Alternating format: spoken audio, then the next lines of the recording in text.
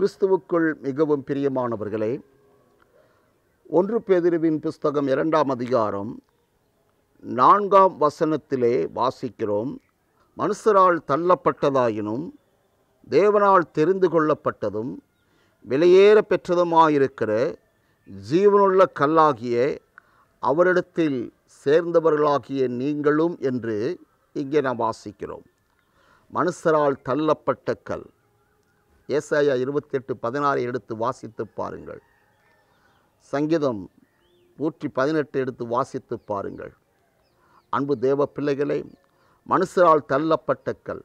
வீடு கட்டுகிற ஆகாதென்று தள்ளப்பட்ட கல். அதுதான் மூளைக்கு தலைக்கல்லாயிற்று என்று. ஆகவே தேவனால் தெரிந்து கொள்ளப்பட்டதும் விலையேற பெற்றதுமாயிருக்கிற ஜீவனுள்ள கல்லாகிய அவரிடத்தில் நாம் சேர வேண்டும். என்று இங்கே வாசிக்கிறோம். ஆகவே தள்ளப்பட்ட கல்லாகிய ஜீவனுள்ள கல்லாகிய இயேசு கிறிஸ்துவனிடத்திலே நாம் சேர்ந்து நாம் வாழ வேண்டும்.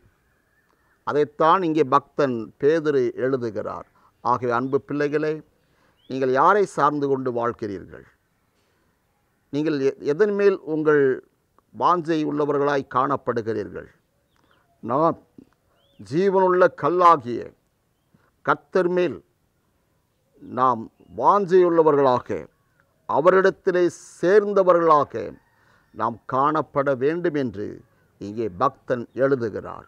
இந்த வார்த்தையின்படி இன்று முதல் ஆண்டவரே நான் உம்மிடத்திலே சேருகிறேன்.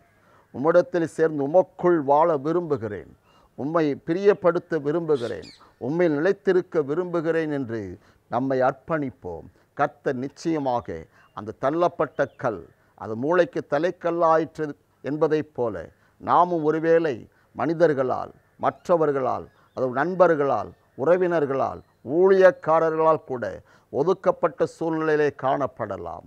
ஆனால் கர்த்தரிடத்தில் நாம் சேரும் பொழுது கர்த்தர் நம்மை உயர்த்துவார். நாம் ஜெபிப்போம். எங்கள் அன்பு தகப்பனை இந்த வார்த்தைக்காக உமக்கு ஸ்தோத்திரம். இந்த வார்த்தையின்படி நீர் பிள்ளைகளை வழி நடத்தும். இதை கேட்டுக்கொண்டிருந்த ஒவ்வொரு பிள்ளைகளும் இப்படிப்பட்ட சூழ்நிலையில் இருப்பார்கள் என்றால் ஆண்டவர் ஜீவனுள்ள கல்லாகிய உம்மிடத்தில் அவர்கள் சேர்ந்து வாழும்படி நீர் கிருபை தாரும். நீர் அப்படி செய்வதற்காக ஸ்தோத்திரம். இயேசு கிறிஸ்துவின் நாமத்தில் ஜெபிக்கிறோம் பிதாவே. ஆமேன்.